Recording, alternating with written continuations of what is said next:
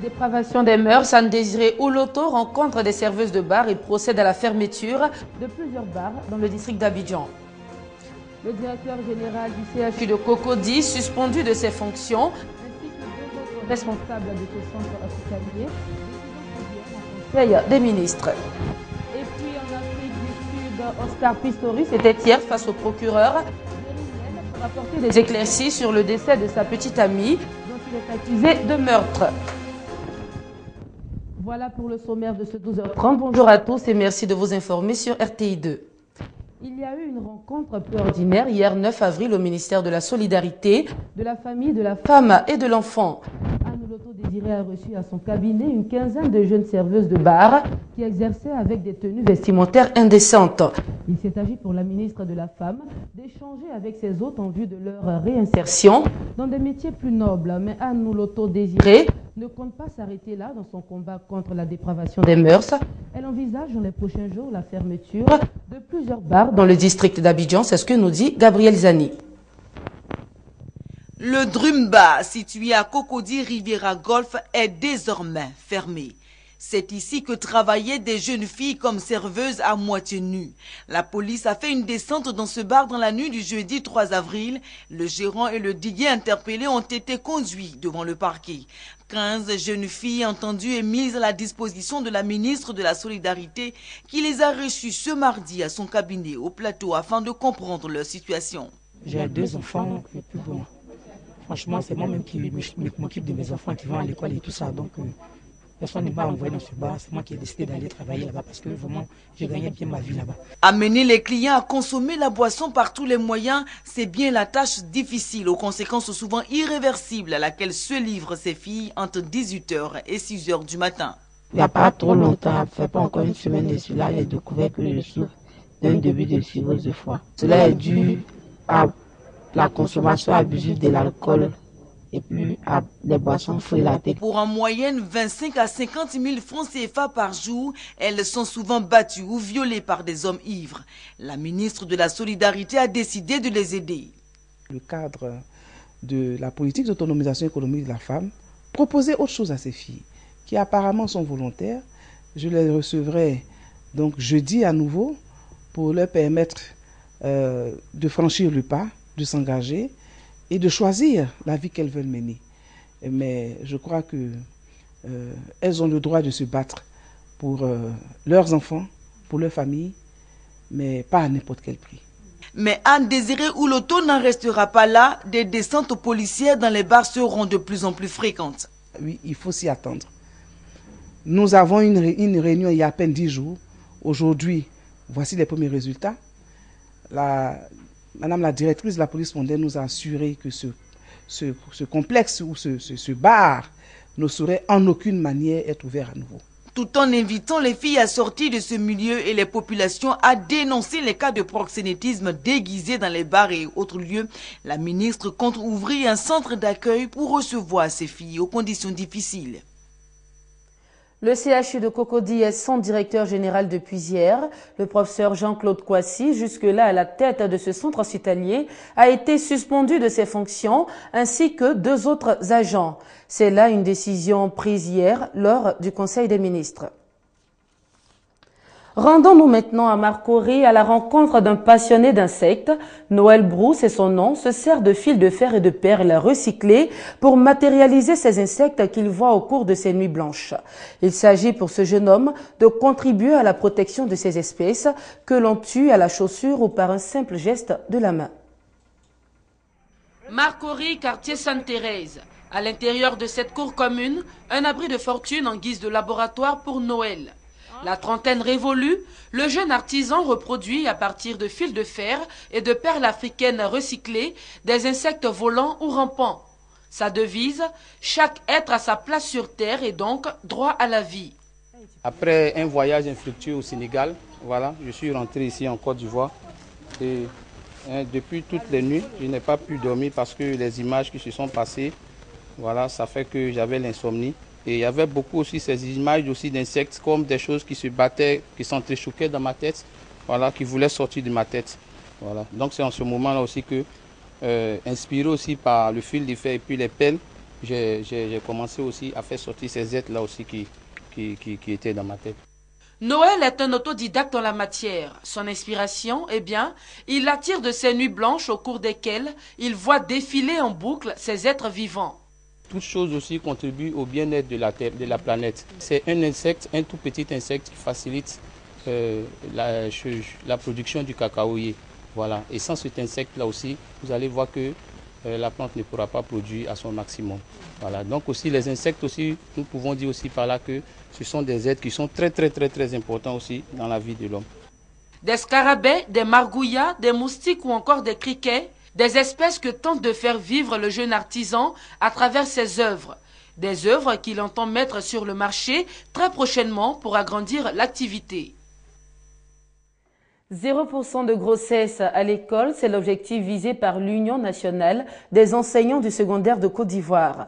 L'opération débuté le 9 décembre dernier, s'est terminée ce 8 avril. Elle vise notamment à contribuer à la réduction des 5076 cas de grossesse en milieu scolaire intervenus en cours d'année scolaire 2012-2013. Franck Quadio. L'essai technique de Cocody un groupe d'élèves, parmi eux des adolescentes conscientes des méfaits des grossesses à l'école.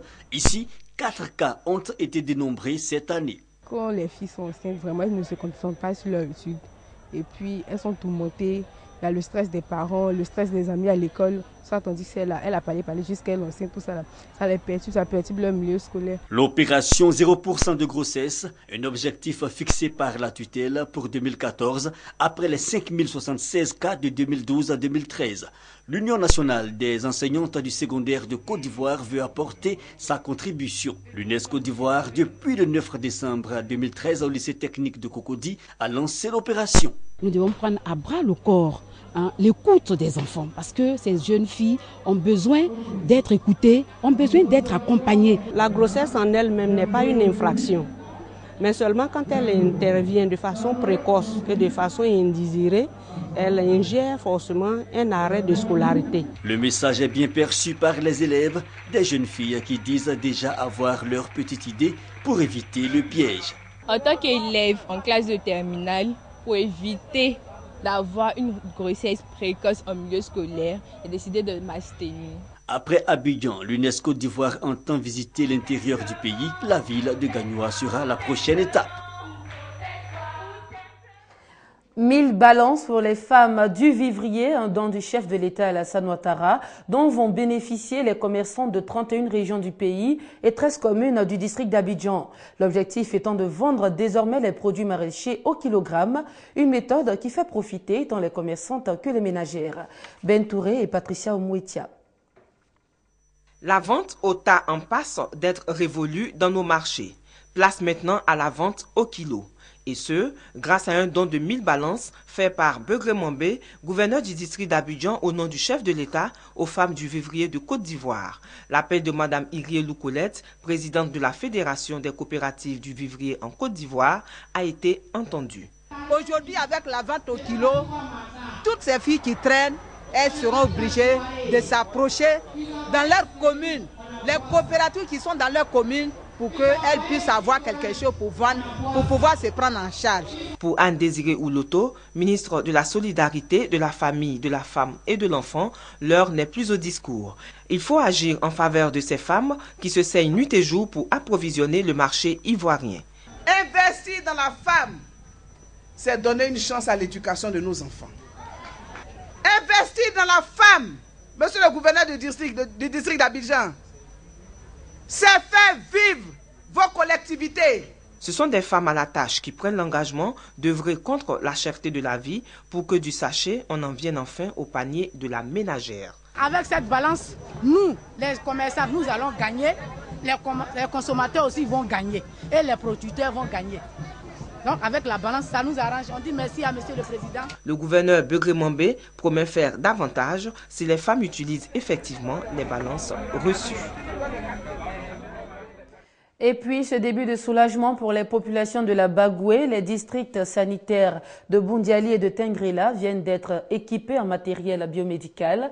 Le don est du conseil régional de la Bagoué, c'est ce que nous dit Eugène Atoubé. Le premier pas qui commence tout grand voyage. Le président du conseil régional de la Bagoué remettant au préfet de cette région du matériel de santé pour les structures sanitaires des départements de Bundiali et Tangrila.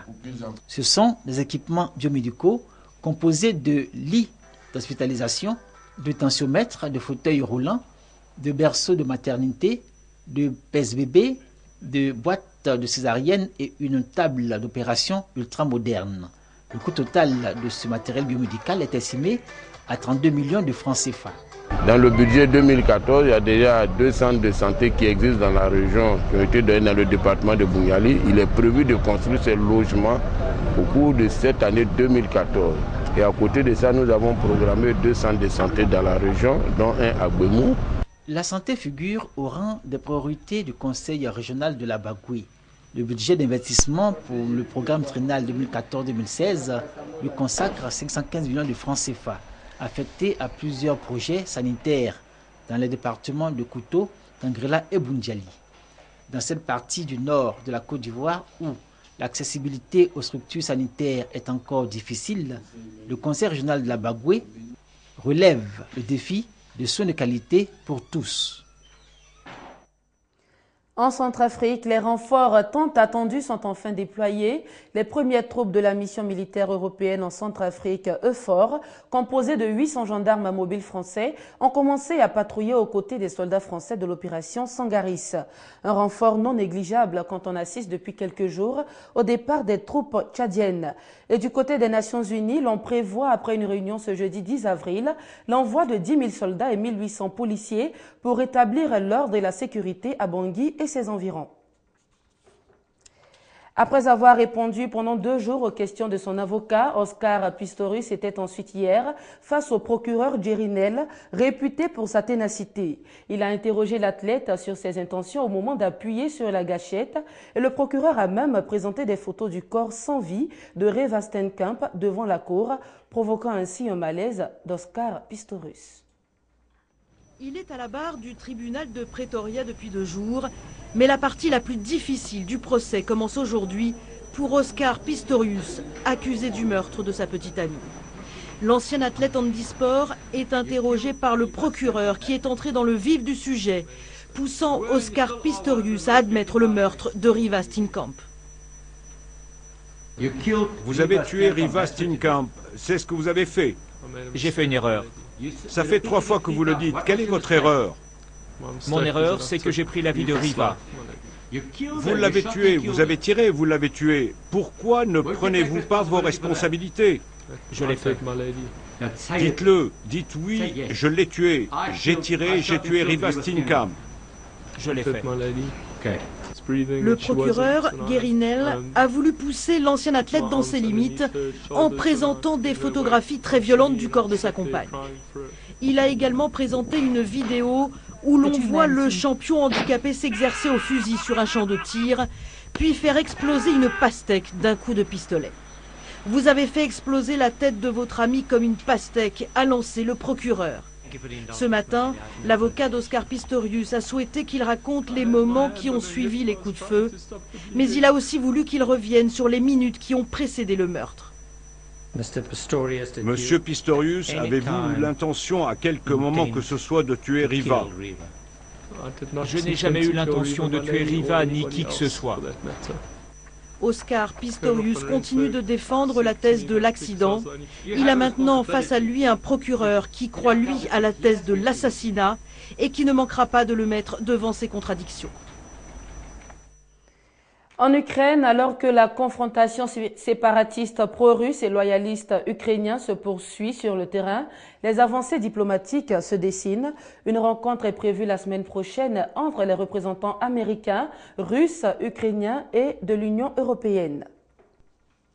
Voilà, c'est la fin de ce 12h30. Merci à tous de votre attention. Je vous retrouve demain et c'est toujours sur RTI2. Bonne suite de programme.